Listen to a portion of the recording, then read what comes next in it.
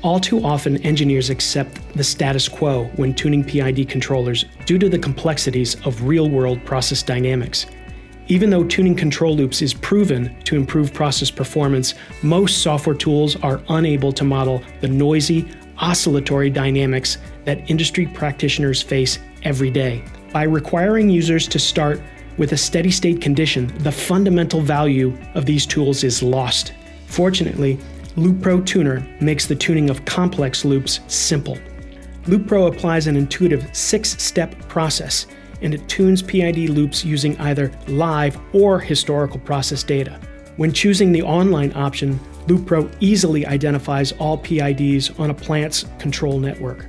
By selecting a controller, LoopPro automatically initiates the trending of data and prompts the start of your step, pulse, doublet, or other dynamic test.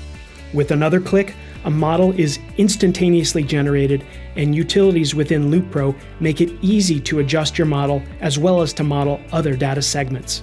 Advance to the next step to customize the controller's responsiveness and evaluate relative descriptive statistics.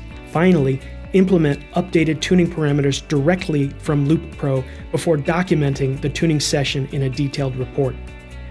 Optimization doesn't need to be difficult. If you're looking for a simple way to tune PID controllers, then LoopPro is your answer. Don't settle for the status quo. Optimize with LoopPro.